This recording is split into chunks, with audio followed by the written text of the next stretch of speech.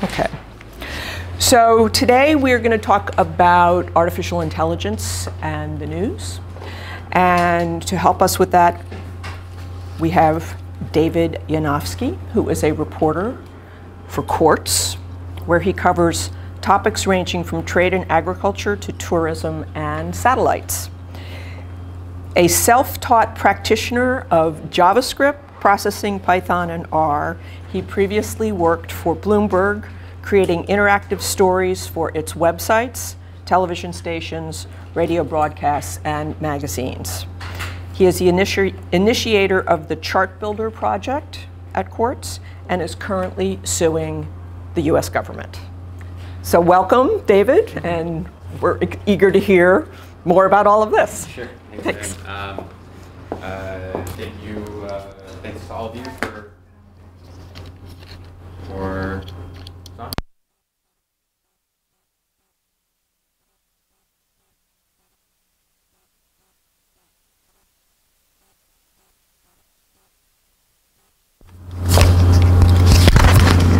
I will just, uh, this is going to be hard.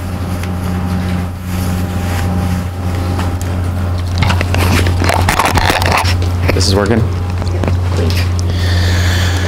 Okay, well, um, but for my, uh, the microphone messing up my comedic timing, thank you all for paying tuition and showing up today. Um, uh, so, uh, just a little bit about Quartz, if you're not familiar. Um, we are a global business news publication. Um, we were founded five years ago uh, to kind of be the, you know, we in our welcome letter, letter we talk about the, what the FT was at the turn of the century, what um, uh, what the Wall Street Journal um, was a little bit later, what the Economist was, what Fortune was. We want to be that for the um, 21st century, and um, obviously that that means being only on the internet, and uh, it means taking advantage of all sorts of technology to um, to further um, our reporting and and um, and also in the, in the way that the 21st century uh, kind of uh, rewards openness and sharing. We're, we're a big believer in uh, openness and sharing of our um, journalism, whether it be um, creating software tools like Chart Builder um, and giving it to uh, open sourcing it and letting anyone um, use this tool, which allows the simple creation of good looking uh, charts um, uh, to creating, um, as I'll show you today, some bots that, we that we've open sourced and yeah. Um, uh, so this is Quartz website. Um, this is a story that I published maybe an hour ago. Um, and uh, in recent years, as in recent months, even as uh, you know, things have gotten easier and, and more attention and, and, interest has developed around this, we have been um, exploring ways to use um, artificial intelligence. Um, uh, one of our first experiments with it, um, I guess one of our experiments was, was actually um, at a conference that we had. We had this Next Billion conference, which is uh, a conference about the, uh, the when we first did our first one three years ago, four years ago, it was about the next billion people to gain internet access around the world.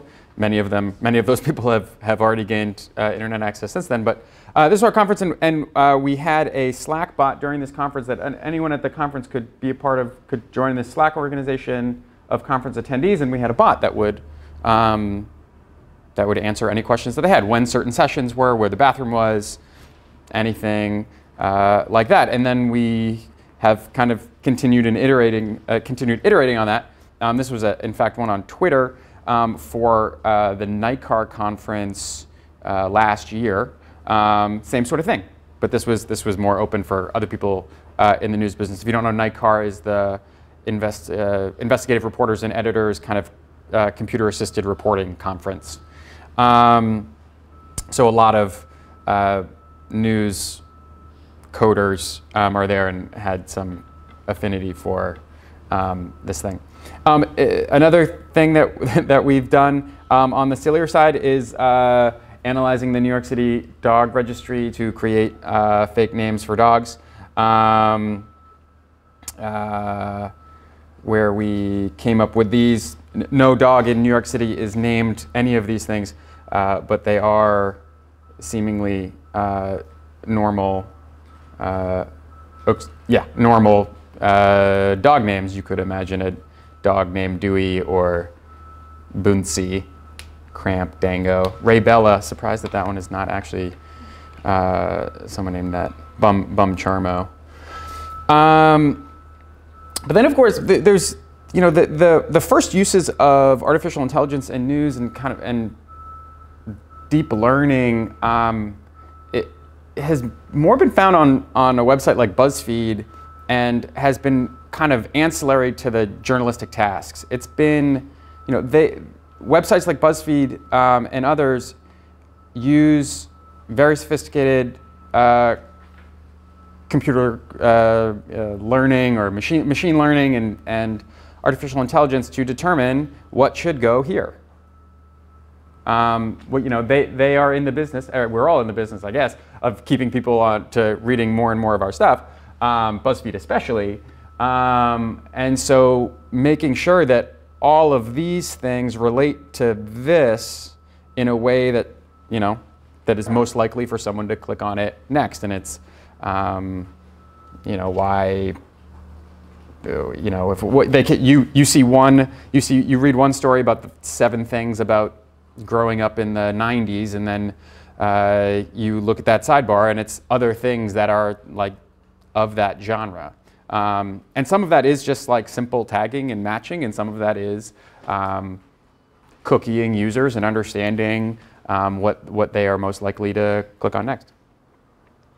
Um, and then, of course, there's, there's the type of machine learning that um, uh, many people uh, in journalism schools are um, terrified of. Uh, I am not, but uh, it's this. This is uh, a Q4 earnings report for Gray Television, um, which, as you can see, was this story was auto-generated by Auto Insights, and all it does is suck in the financial reporting of a company and spit out a uh, story that five years ago was written by some very low level person at the AP or at Bloomberg or at Reuters or whatever. Um, this is, you know, this, this, this can be done with sports stories. Uh, this can be done um, with earthquakes, um, as the LA Times does. Um, this is you can see the, the byline on this is QuakeBot. Um, and it's, uh, you know, it's, that's the, that's the extent of the story, but it tells you everything you need to know about a 3.8 earthquake, which is forgettable already. Um, uh, but it's there and it's, and it's put out uh, nearly immediately. This, the QuakeBot was created by this guy, Ken Schwencke, who's now at ProPublica. Um, he has written a blog post about how this whole thing came about and um, and and how it works. They they beat. Can't remember why why that blog post was written, but they were they were able to very very quickly put up a story about an earthquake um, in the middle of the night, and it's because his phone buzzes when QuakeBot wants to publish a story, or it did when he was there.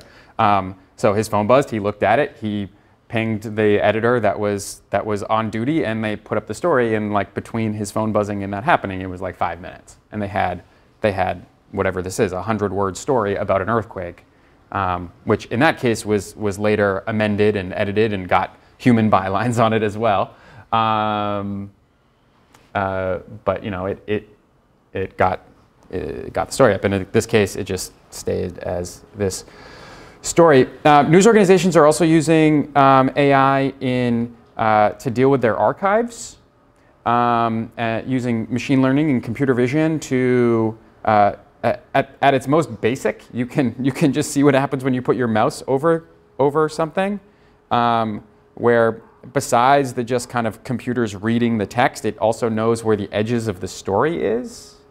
Um, and uh, I'm sure that some of this was uh, just in the way that machine learning typically works is, is I don't know about this specifically, but some human had to go in and, and on some of these pages had to draw boxes around where, um, where the story was, what, what constituted the same story.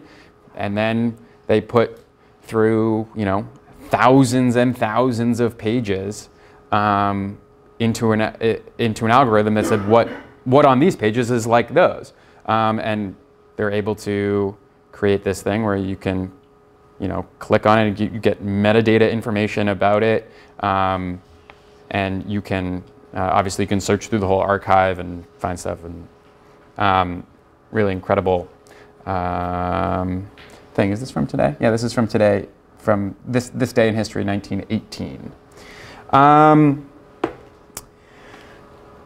there's also kind of this, this intersection of other people doing all sorts of artificial intelligence to aid in news organizations doing um, artificial intelligence, um, and not so much in the financial relationship like, like you see in uh, automated insights as it was written here, um, uh, but more as you know, AI as a platform, um, understanding um, not only human speech, uh, when you're when you're talking to a device and having having a news app, being able to use that interface and and uh, and basically getting that AI for free, but also being able these devices often um, often now and even more so into the future will have to understand your a person's intent um, and what what someone you know how many different ways you can say one thing and being able to uh, rationalize that in a way that a news organization can use and and further uh, a user experience, not unlike a news organization is building uh, an app on their phone, uh, on a phone and needs to understand the ways in which someone can touch something and what that means.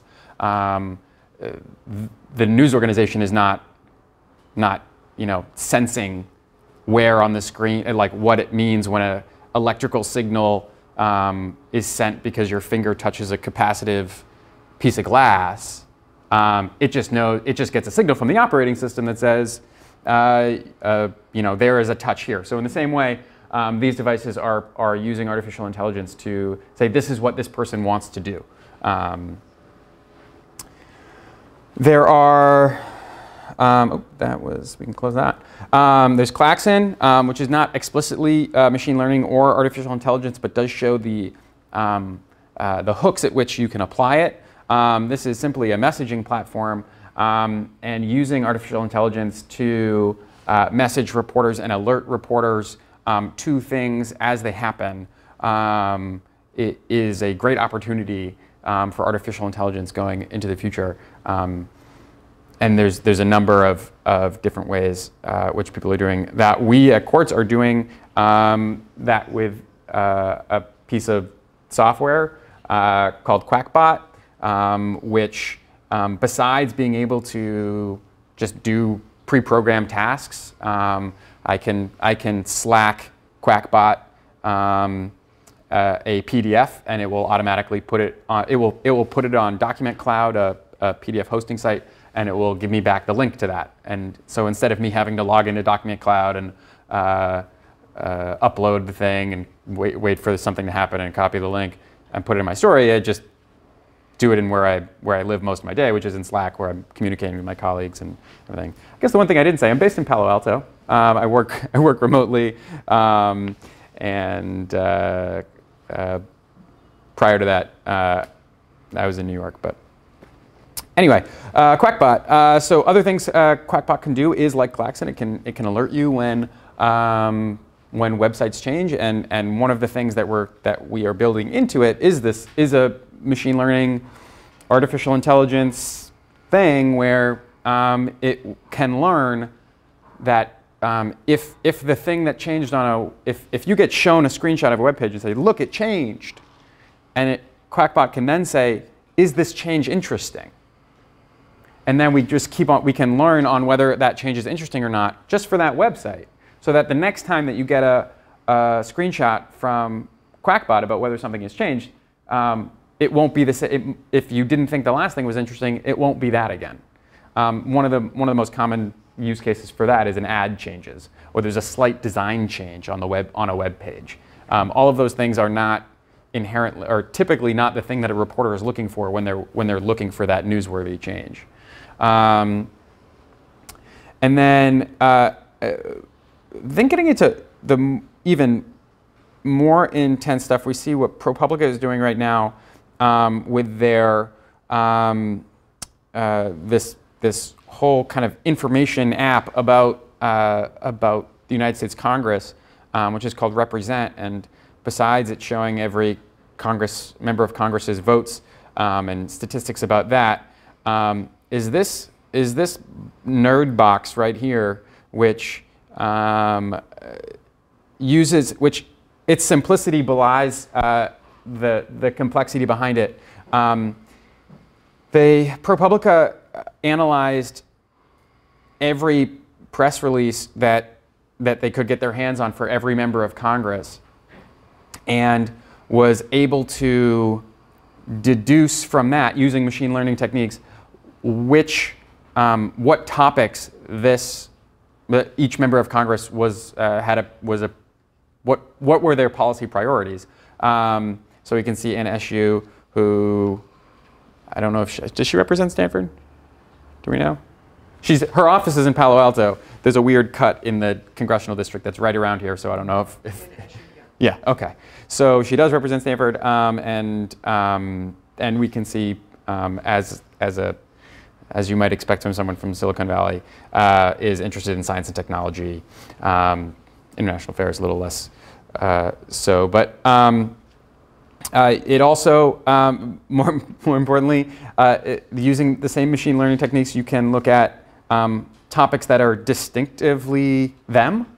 You know, what are, what are the topics that they talk about that are unlike any other topic that any other member of Congress is talking about. Um, and it would make sense that she would be talking about Santa Cruz or uh, something about SFO. Um, aircraft noise, similarly, Palo Alto, um, you know, fire, uh, uh, seemingly fire rescue um, with their, their rescue wing or fire uh, fighting by air, the rescue wing in um, Santa Clara.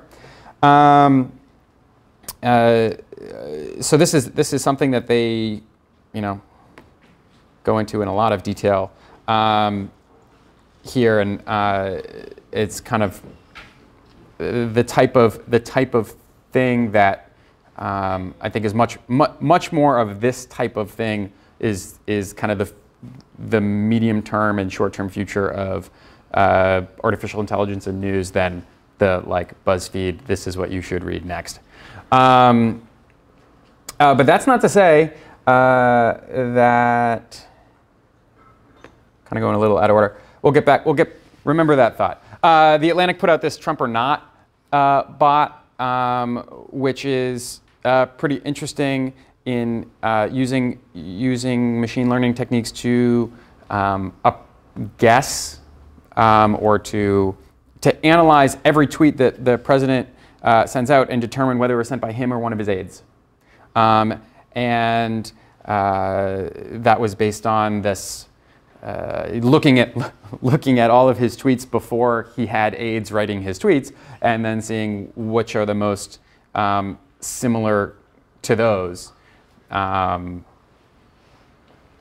which uh, is a very newsworthy um, thing, right? You well, you know, here we're saying, oh, it's only 52% chance that it was written, but here we have 99% chance it was written by him himself.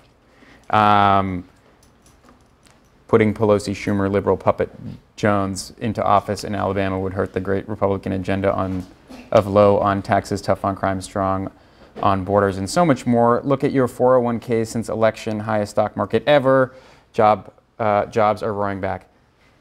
Maybe you didn't need machine learning to understand that like that type of cadence was, was from the president, but uh, there you have it. Uh, but maybe that, maybe that helps you trust uh, this algorithm even more. Um, so, uh, like I was saying, like BuzzFeed does, BuzzFeed also uses machine learning at the total other end of the spectrum. Um, with this, they, as they showed with this story, "Spies in the Skies," which they were able to find uh, many, many, many, many, many um, government uh, or flights by government uh, government surveillance flights, uh, whether it be the FBI um, or the Department of Homeland Security uh, operating, flying little airplanes um, or helicopters or whatever over certain locations, um, presumably with monitoring devices on them, um, and uh, hopefully only to track uh, criminals uh, uh and not to for bad uh, anti-civil reasons. Um, but anyway, the, the, way that they did this was uh, was training um, was training a computer on what what suspected what these flight paths looked like. Um, as you could see, um, as you could see here, you know, you often see these circular patterns of flights of, of planes flying around a specific point of interest. Um, you can see sometimes uh, in this situation, you, you can, uh, it seemingly shows an airplane following a car driving, um, what is that, the San Mateo Bridge. Um, uh, and, then, and then ending up somewhere in, I don't know, somewhere near Redwood City. Um, so uh, being able to, they took, uh, as described here, they took uh, examples of those that they knew were surveillance flights and they, and they created a database of them and then they were able to work with, uh, can't remember if it was Flight Radar or, or um, FlightAware, one of the one of the big kind of aircraft tracking websites, um, uh, and they were able to work with them to run uh, uh, artificial intelligence over the flights of uh, over the flight paths of like every aircraft that these websites had um, uh, had been had tracked um, in recent months and years, and uh, pick out the ones that that looked the most like those. And they were able to discover not only just like how many of these flights existed, but also the registrations of these airplanes. These, these, you, the FBI, when they're flying these airplanes, don't have, um, when you look up their tail numbers, they don't say Federal Bureau of Investigation. They say they have all sorts of um, effectively shell companies um, that, uh, these, that these planes are, are registered to um, to further obscure um, their purpose. Um, it also exposed uh, contractors that were in the business of helping um, uh, the law enforcement with these um, uh, with these actions. And BuzzFeed has actually public, has used these these two tech uh, this data and this technique to find even um, more interesting stories about who is flying what types of planes and where. Um, uh, around, I think even around the world. I don't even think it's, it's just US focused. Um, there's the Overview project, um, which is a longstanding project um, that was originated at the AP um, that uh, um, you throw at it, you, you have a big dump of documents and you shove it into the Overview project and it will, it will read them. It will, one, it will scan, it will scan if you, they're not actual uh, uh, text or computer readable documents. It will scan them, turn them into computer readable documents, um, and uh, be able to cluster them based on subject matter. Um, and the uh, I'm I'm pretty sure that the uh, Iraqi war logs um, used overview to be able to cluster um, documents about explosions versus documents about transports versus and see how many of these and, and look at the interactions of those types of uh, events. Um, the uh, LA Times um, is the LA Times reported reported out a story, um, an incredible story. They they noticed that um, that crime rates um, in the city of Los Angeles were dropping, um, and uh, there didn't seem to be an explanation why, um, and they were able to look at, they, they filed a public records request for all of the, um, I don't even, I, I, forget how, what their specific name is, but basically when a, when a, when a police officer uh, shows up at a crime scene and files a report, there's like a little, there's like a little like kind of first, um, it might, might not even be first. In the police reports, there's a description of what happened. And they used uh, artificial intelligence, machine learning, to look at those words and compare them with how the crime was categorized. And uh, what they found was that um, it's not that these types of crimes were going down, it's that the categorization had changed. That the likelihood that, that um, uh, you know, I think they used an example uh, of like how many times the word stabbed, uh, or you know, so and so was stabbed or was it's stabbed and injured in the same um, in the same report. They were able to determine that like in uh, in the past that would always be categorized as a violent crime, and now it was like only 20% likely to that it was a violent crime or something, something, some some decrease like that. I'm making up those numbers. Um, uh, but you, being able to use AI to augment um, uh, that story was almost the only way to do it, um, next to reading every single one of these reports, um, which wouldn't have a, just you could do, but you the paper the paper would be dead at this point because they'd have all the reporters reading police reports.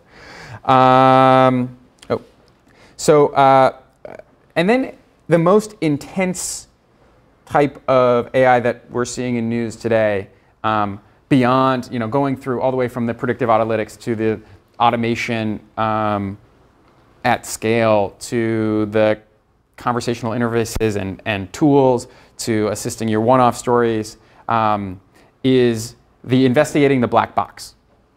And ProPublica has been doing a lot of this, and they've been doing it really well. Um, and this story is about um, how uh, car insurance premiums in non-white areas were higher than uh, in white areas. And the only way that ProPublica figured this out was that um, they didn't know, they did not know how car insurance companies were calculating um, the premiums. But they were able to look at the demographics of the area, um, which is, you know, and, and uh, all of the statistics about areas that, that, that the insurance companies would obviously be using. It's the only way uh, to make insurance premiums is to look at that demographic data. And then they were looking at the output. They were looking at what people in these neighborhoods were being charged. Um, and they were able to show, um, it's a great chart in here. Um, uh, they were they're able to show so that so a Geico, you can just see how um, the liabil liability premium, as it's as it's known, in minority neighborhoods greatly exceeded that um, in uh, white neighborhoods, and that um, uh, and this is this is a, a, scatter plot based on the the how much people are paying versus the actual risk um, of uh, of each area. So, um, you know, for the same amount of risk, um, a white person was paying uh, about, what's that, 40 bucks, 40 bucks less uh, per month. Um, and you saw that, um, you know, that they, I think they got a number of providers in here. Um, and so like in, in, in terms of like the biggest uh, uh, like I said, this is this is definitely like the biggest investigative in, investigative uh, opportunity um, is doing things like this, um, and the um, uh, as well as uh, just just above the the biggest day to day opportunity, which are stories like uh, this, we're helping you on a single a single like. I only say that because the um, this story can be run. This story can can be like ongoing. They can continue there's, there, they can do this on such a much larger scale um, than, uh, than, the, than the police can. And also the police thing, you have, you have every step along the way. You have the input, you have the algorithm, and you have um, the output, which is the crime rate. And this, um, you don't have that middle piece, but both can use um, artificial intelligence for that.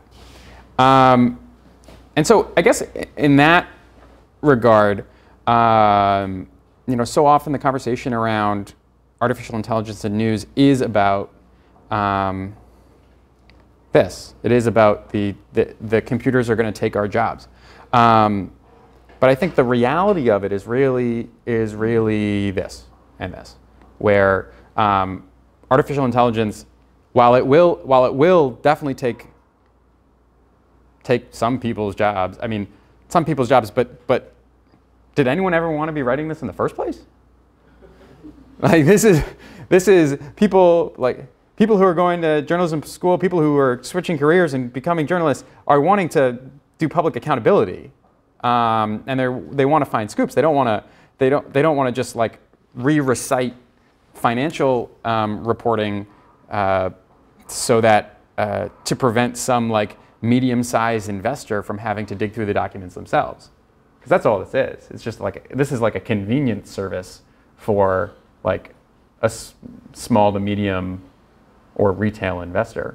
Um, Although the Enron story started off as a simple vanilla earnings story. that the, there are definitely, definitely examples of the simple vanilla uh, story leading to bigger things. I've had my some, I wouldn't say uh, my, more than my fair share of those.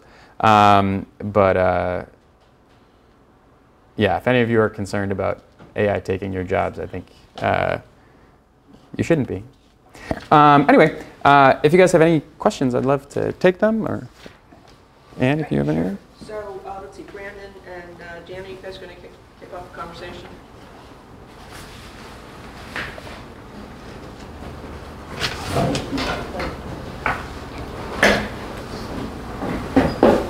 I mean, what, uh, uh, so one question I have here is, is more of on- along the lines of business. How, how much, um, how much do you think this is going to be beneficial to your dis- distressed industry here in terms of efficiencies of, of scale, economies of scale, um, in helping uh, reduce the costs of, of producing these kinds of big stories? Um, so reducing the cost of the big story is a hard thing to understand. I think the way that I always think about it is more um, the way that some people understand traffic, um, which is this is the uh, when there's big when there's a lot of traffic in a metro area, the common response is we should build more wider freeways. Um, um, but really, what ends up happening is that the capacity of the freeway just gets filled up. Um, and the thing, the, the thing that's most evident about that is, is that the United States has done a lot of road building in recent decades, and the average commute time of an American is still 30 minutes. It's been 30 minutes for forever, and it and it says something just about people's willingness to undertake a certain thing, this commute. And so if I think about it in the way of the news, it's like, well, the cost of an investigation is whatever.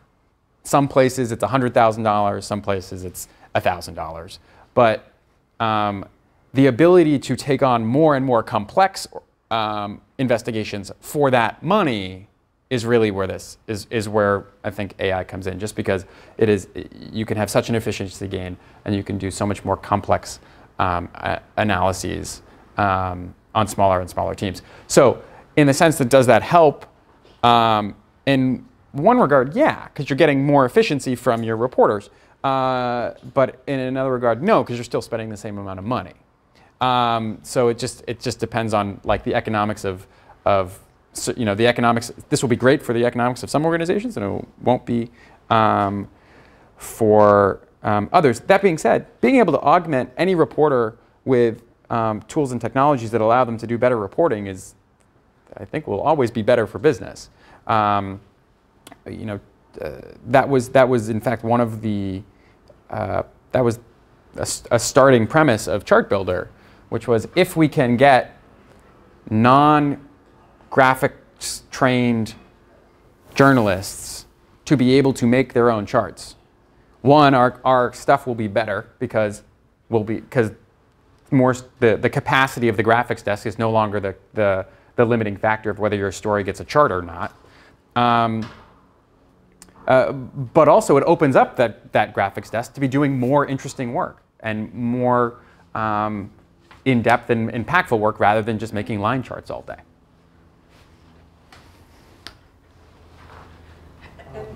Go, go, go.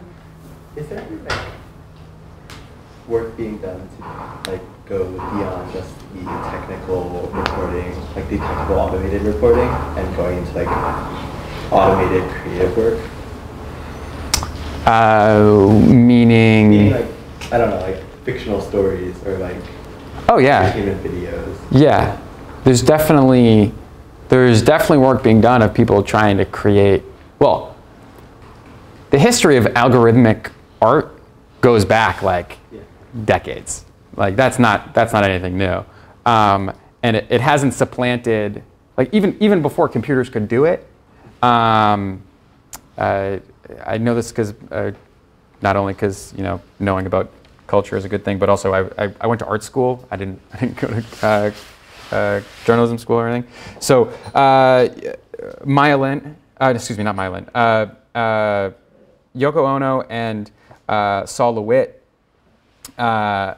um, to conceptual artists, the whole conceptual art movement is is in a way algorithmic, um, in which you know Yoko Ono gives you a card at a gallery and you read it out loud, and it's like she didn't, she created the system, right? Sol LeWitt says, take a wall that's at least this big and draw diagonal lines on it. Now have five different people draw uh, squ- uh, squiggly lines with with blue markers algorithmic. A computer, like you could program a computer to do that, but but he was programming humans to do that. Um, uh, but in terms of like more directly now, what you're talking about, there are definitely um, uh, people working on creating, you know, algorithmic poetry, algorithmic um, fiction. Uh, it's all seemingly created as its own genre. Um, no one's trying to like write a novel and be like, be like, this is, you should like this as it as a novel rather than as a, a AI created novel. It's kind of like a, as, as, as I've always seen it. I'm not as well versed in that as I am in other things. But yeah, yeah. Your question? Yeah, um, so I'm just interested in your experience. You're self-taught. Mm-hmm. Um, um, Lots of help. coding journalist. Yeah. Coding journalist. Well, uh, from past speakers and also other people uh, talk, and it, it seems that nowadays it's it's that journalists have to learn coding to do stories, amazing projects like that.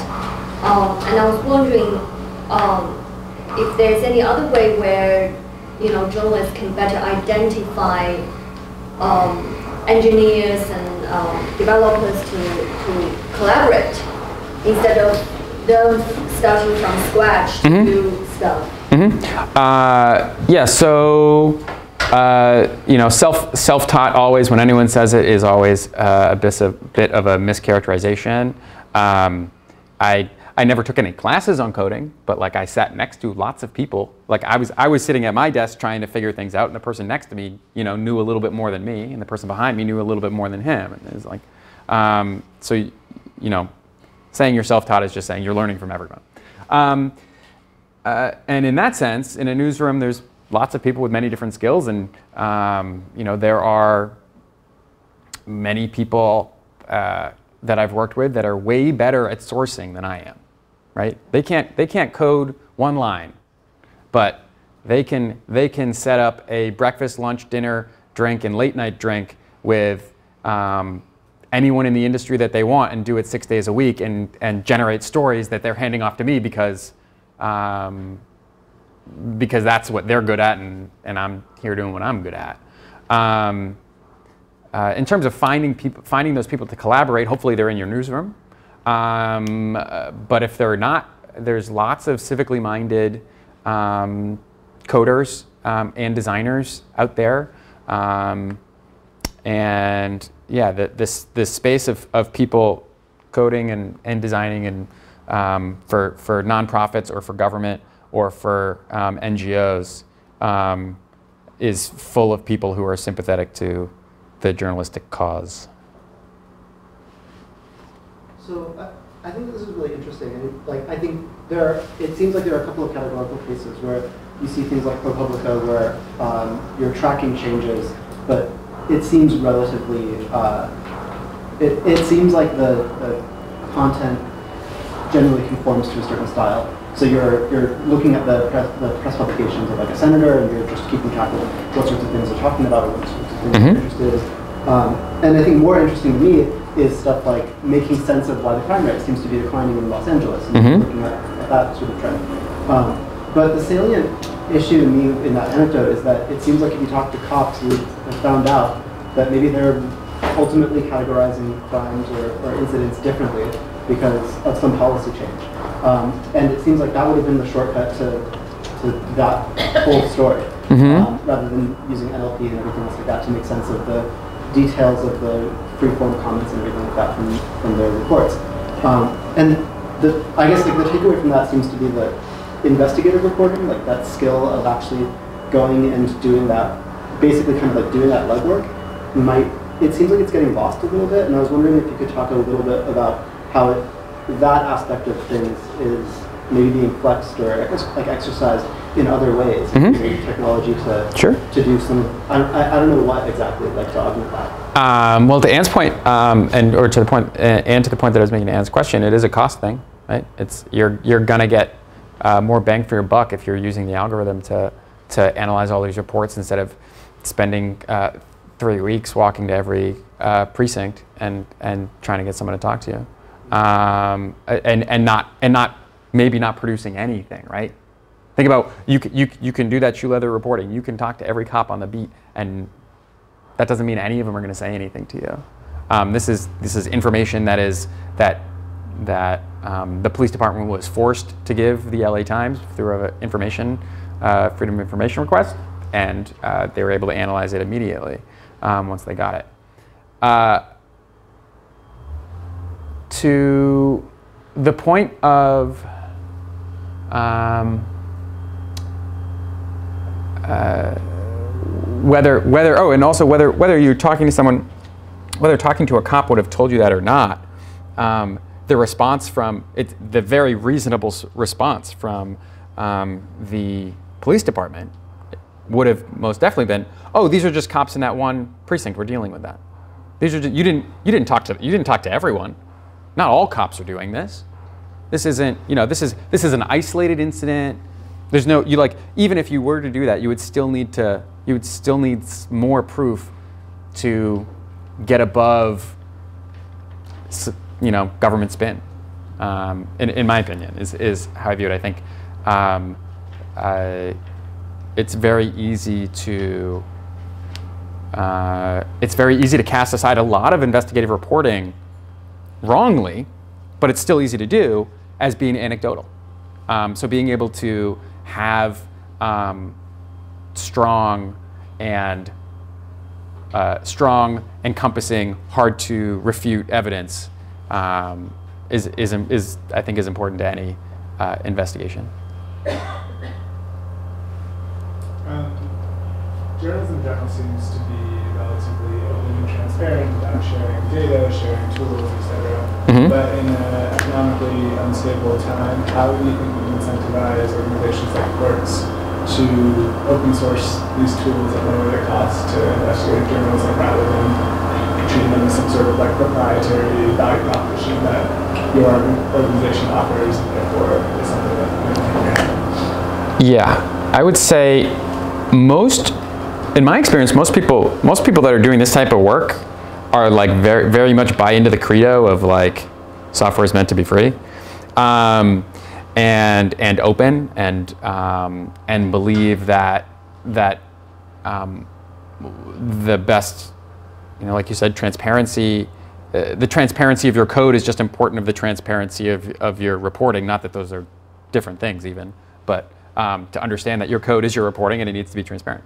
Um, so, uh, but that being said, the the the biggest limiting factor I think in terms of organizations opening opening up their things is one they don't think it's important enough or that it's reusable enough. They didn't they created it in such a way that it was too specific for their use case. So, um, you know, finding a way to incentivize people to make general to, to generalize their work rather than um, around a story and to you know deal with things that way um, is is one thing because then people would be more willing to open source it.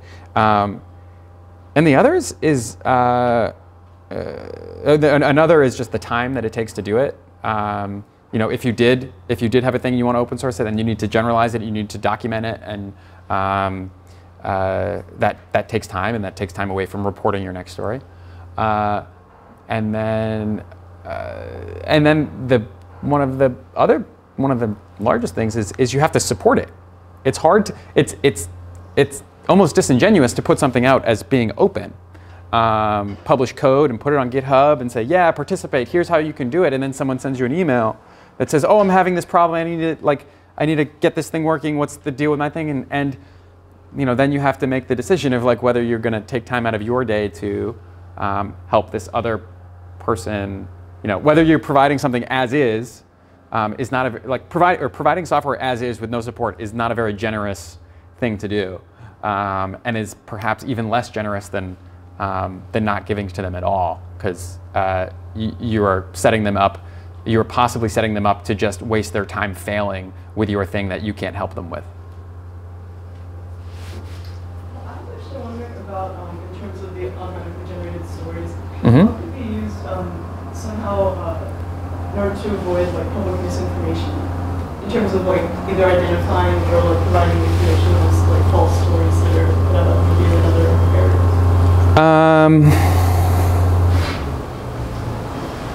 it's a little tough. So much, so much of the of those automated stories um, are based on very clean data sets, and so much disinformation is based on, or both, but, but clean and regular and tabular data sets even. Whereas disinformation is is usually based on something that's very different from that, right? It's someone said this thing at this event, which yeah, if you had the video of it, you could you could look at that thing and you can look at at you could look at the whole context of what that person said and what it means and um, whatnot. But um, yeah, I'm not sure. I haven't given that much thought, but that that's that's the first thing that comes to my head. Sorry. Why are you suing the U.S. government? Oh, I'm suing the U.S. government. Uh, I'm suing the U.S. government for access to uh, the uh, records uh, when when a non uh, U.S. resident enters or exit, or the non-U.S. resident enters the United States, they're given a, a document that, or a document is created that has all of their demographic information about it, where they're coming from, what visa they're on, yada yada yada. Um, anyone coming into or out of the United States on an airplane, another record is generated um, about where they're going, where they're from, their demographic information. Um, and I'm suing for all of those records. Um, the uh, Is this exit, entrance and exit data? if you're on an airplane, it's exit and entrance. If you're um, if you're uh, not, it is only um, entry, and obviously those overlap. Um, so yeah, I filed a Freedom of Information Act request to the uh, Department of Commerce, which collects this data and cleans it and anonymizes it, um, and, which is very important. And uh, um, actually, I don't even know what type of cleaning they do or anonymizing they do. I know they, they, they collate it and resell it. And the issue at hand in my case is whether they are allowed to charge me $175,000 for it, um, which is what, if you wanted to, could pay for it, and they would give you all of this data.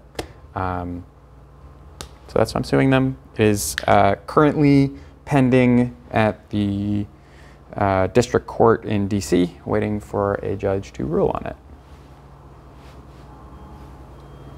Is that? Are you just collecting to collect it, or are you looking for something, or are you suing them because you think it's wrong? Well, I first collected it. I first asked for the request because I was just interested in it. Quartz being a global business news publication, we could, you know, tracking the movement of different demogra- uh, different groups of people into and out of the United States has all sorts of business stories into it. Um, you know, I can think of one where uh, a uh, high-end shopping mall is built in Houston. It has certain very high-end stores are um, go in there.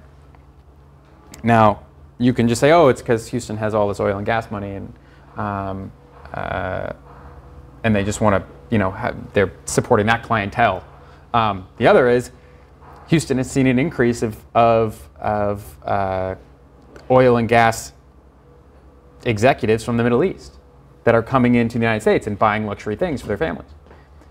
And being able to being able to say how many and, and how often is, is an important business story. Now, uh, I filed this suit under the Obama administration, um, or I filed this request under the Obama administration, and um, obviously in the last year, um, other uh, newsworthy use cases came about, which is how many people from these countries are actually coming to the United States, how many uh, people on these visas are coming into the United, into and out of the United States, um, things like that. And then there's also certain there's also certain uh, information about various visa types that the government won't give you that would be um, be, be, able to implied from um, people crossing the border and the demographic information on those. Um, do you think that the increased use of AI in reporting is going to, how do you think it will impact the, the trust issue that's, that's currently being so vigorously debated? Um, has, you know, has crowdsourcing um, caused people to trust media less? I see the I see the arguments about about trusting media um, or, or, trusting a, a new method in media. Um, uh, the arguments against crowdsourcing, which is like a widely established practice now, um, are the same as seemingly very similar to the arguments against um, AI. Um, and the way in which we solved it with crowdsourcing is going to be the same way in which you solve it with AI, which is you just do good journalism. Like you, you understand um, the biases of your inputs. You understand um, the caveats. You, you are very clear about what is happening and what you know and what you don't know. Um, and if you do that, then you know you're you shouldn't have any um, problems with. You shouldn't have any more problems with trust than already exist. I guess to that point, I'm interested in what degree you think that journalists using these kinds of tools are aware of the biases in the data sets that they're using, especially if you're using this as a source of discover stories. Yeah. Like, if you do have some kind of tracker that's trying to, you know, determine what's interesting, I think there is a lot of blind trust and non-interpretability in those algorithms, mm-hmm. especially given how complex they are. Mm-hmm. I'm curious as to whether when a story is put into the world, whether that transparency exists on the part of the story writer and the story reader right now. Um, sorry, what was that last part? Like, does, does that transparency exist on the part of the journalist, and does that exist on the part of like a person who comes to the ProPublica website, has no concept of word vectors, and is looking at this list of you know surface tools, or even something like the confidence, right? I think yeah. putting a, a number on confidence makes that seem like a more quantifiable thing than perhaps it really Yeah, I think uh, the most serious practitioners of AI in news right now are very aware of that, and that that's because there's presently a high bar to entry. So the, the people the people that are into it are very sensitive to those things. How it goes into the future as tools get easier to use, yeah, there's going to be people screwing up, and there's going to be problems with it, just like any new technology or any new method. Um, but you know, established practices and standards will will come out. In terms of in terms of uh, the transparency, um, I don't know. This is a problem with with kind of just publication in general. Like, how much can you? Um, how much how much do you have to like? How big does your signpost need to be? Um, and and how much can you expect of your reader? Um, ProPublica has a whole has a whole article on how it and on how it did that, and it links to it right there. Um, how many people are just going to read, not going to read that and be like, just see, oh yeah, you know, interesting policy, whatever's, and be like, okay, and, and be later. Like, there's going to be some that do that. Um, but, you know, that's the same, that's going to be the same thing with the QuakeBot, right? QuakeBot, you click on, you click on the, click on the byline for QuakeBot, and I think it takes you to a story that explains QuakeBot. Um, but how many people are actually clicking on that I guess my question is more or less like, what is the duty of us as journalists to ensure that those things are in fact right? Like, I feel like a lot of the controversy surrounding fake news right now is the idea that these algorithms, even despite the many disclaimers that existed, like those disclaimers were clearly not useful. Um, the kind of information that's out there is not useful to the general public and people consuming it. And it seems like a useful trend would be to make this kind of description more accessible to the non-technical. Um, yeah, I don't, I don't, I don't think I have a good answer for you. Sorry, but there, it, it's, it's, it's definitely a, you know, a great um, thing to think about and a thing to, to, it's definitely something that news organizations are still iterating on. And the reason why it's still a question is because there is no answer. Yeah. Okay, I think we're going to have to, we're out of time. So thank you very much, David. That was great. Thanks for having me.